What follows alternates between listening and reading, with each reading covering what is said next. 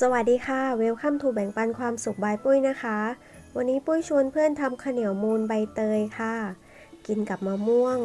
น้ำดอกไม้หวานๆนะคะ อร่อยมากเลยค่ะ สูตรนี้นะคะเม็ดข้าวเหนียวมันวาว ไม่เละนะคะ หวานมันกำลังดีค่ะ เดี๋ยวเรามาชมกันเลย วิธีทำนะคะขั้นตอนแรกคือนำข้าวเหนียว 500 กรัมนะคะ มาล้างน้ำให้สะอาดค่ะ เพื่อนจะใช้ข้าวเหนียวแบบไหนก็ได้นะคะ จะเป็นข้าวเหนียวเก่าข้าวเหนียวใหม่ข้าวเหนียวเคี่ยวงูใช้ได้หมดเลยค่ะ ล้างน้ำให้สะอาดแล้ว เดี๋ยวเราจะนำข้าวเหนียวไปแช่นะคะ ให้นำข้าวเหนียวไปแช่ประมาณ 4-5 ชั่วโมงค่ะ ปุ้ยแช่ 5 ชั่วโมงนะคะ หรือว่าเพื่อนจะแช่ไว้ข้ามคืนก็ได้ค่ะ ที่เราต้องแช่ข้าวเหนียวนะคะ เพราะว่าข้าวเหนียวเนี่ยเขาจะมีความแน่นของแป้งมากกว่าข้าวเจ้านะคะ ซึ่งถ้าเราแช่ก่อนไปนึ่งเนี่ยจะทำให้ข้าวเหนียวเขาดูดน้ำเข้าไป แล้วก็ทำให้เม็ดพองตัว หลังจากนึ่งออกมานะคะข้าวเหนียวของเราก็จะนิ่ม แล้วก็เหนียวนุ่มอร่อยค่ะ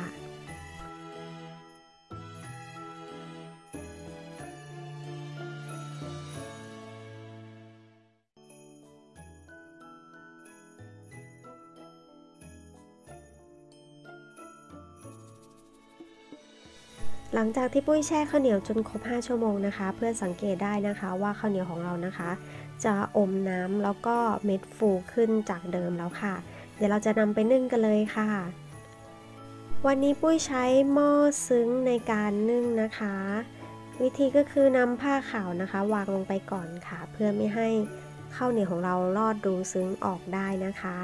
จากนั้นก็เทข้าวเหนียวลงไปเลยค่ะ ถ้าเพื่อนมีหม้อหวดที่สำหรับนึ่งข้าวเหนียวก็ใช้หม้อหวดนึ่งข้าวเหนียวได้เลยนะคะ เสร็จแล้วก็นำผ้าขาวบางนะคะ มาโปะไว้ที่บนข้าวเหนียวค่ะ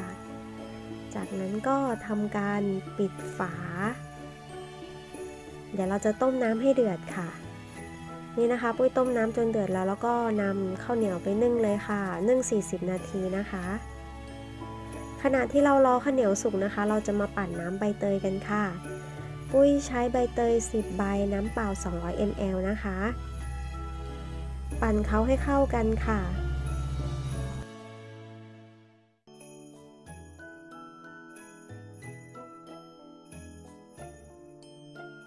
ขั้นตอนต่อไปนะคะนำน้ำใบเตยที่เราปั่นไว้มากรองกับกระชอนตาถี่ค่ะ เพื่อเอากากออกนะคะ เดี๋ยวขั้นตอนต่อไปเราจะมาทำในส่วนของน้ำกะทิกันค่ะ กะทิ 250 ml นะคะ น้ำตาลทราย 200 กรัม เกลือป่นครึ่งช้อนชาค่ะ เราจะต้มกะทิให้พอร้อนนะคะ เพราะว่าเราจะไม่ต้องการให้เขาแตกมันค่ะ พอน้ำตาลละลายดีแล้วนะคะ เราก็จะใส่น้ำใบเตยของเราลงไปเลย ให้เพื่อนใช้ไฟอ่อนนะคะ จากนั้นก็ผสมให้เขาเข้ากันค่ะ ต้มต่ออีกสักพักหนึ่งนะคะ ให้พอร้อนค่ะ จากนั้นก็ปิดแก๊สรอให้ข้าวเหนียวของเราสุกนะคะ เราจะนำน้ำกะทิตัวนี้นะคะ ไปผสมกับข้าวเหนียวของเราค่ะ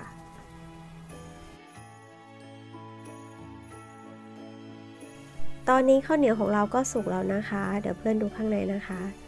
ข้าวเหนียวของเราออกมาเป็นเม็ดสวยมากค่ะ เม็ด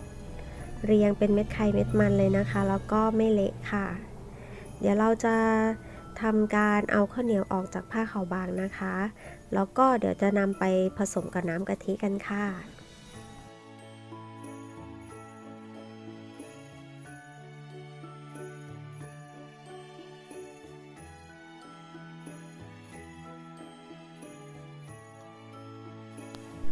ทกะทิลงไปในชามผสมค่ะ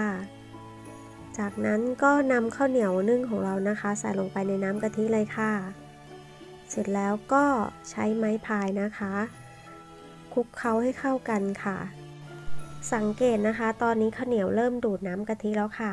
เดี๋ยวเราจะพักทิ้งไว้ประมาณ 1 ชั่วโมงนะคะ ให้ข้าวเหนียวเขาดูดน้ำกะทิให้เต็มที่นะคะ แล้วเขาก็จะพองตัวค่ะ ปุ้ยจะใช้แรปพลาสติกนะคะ ปิดเขาไว้ก่อนค่ะ เพื่อนจะใช้เป็นฝาหม้อก็ได้นะคะ เดี๋ยวอีกชั่วโมงหนึ่งเรามาดูกันค่ะ ในขณะที่เรารอให้ข้าวเหนียวพองตัวนะคะ เราก็จะมาทำในส่วนของน้ำกะทิสำหรับราดหน้าข้าวเหนียวมูนกันนะคะกะทิ 250 ml เกลือป่น ครึ่งช้อนชา แป้งข้าวโพด 1 ช้อนโต๊ะ ผสมทุกอย่างให้เข้ากันดีก่อนนะคะ ผสมให้แป้งข้าวโพดละลายค่ะ เพราะว่าถ้าเรานำไปตั้งไฟเนี่ยแป้งข้าวโพดยังไม่ละลาย เขาจะจับตัวกันเป็นก้อนนะคะ เปิดไฟใช้ไฟอ่อนนะคะในการกวนค่ะ กวนสักพักหนึ่งค่ะ ให้แป้งข้าวโพดนะคะเขามีความหนืดก็ใช้ได้แล้วค่ะ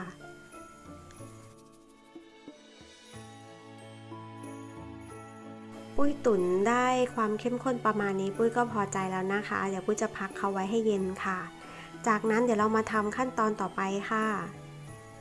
นี่ค่ะปุ้ยเปิดดูแล้วครบหนึ่งชั่วโมงนะคะข้าวเหนียวมูนของเรานะคะเขาดูดน้ำกะทิเข้าไปหมดแล้วค่ะ แล้วก็เป็นเม็ดพองสวยเลยนะคะ เป็นเม็ดไข่เม็ดมันไม่แฉะค่ะ แล้วก็มันวาวด้วยนะคะ สวยมากค่ะลองชิมแล้ว ความหวานมันกำลังดีเลยนะคะ เดี๋ยวเราจะไปตักใส่จานเสิร์ฟกันเลยค่ะ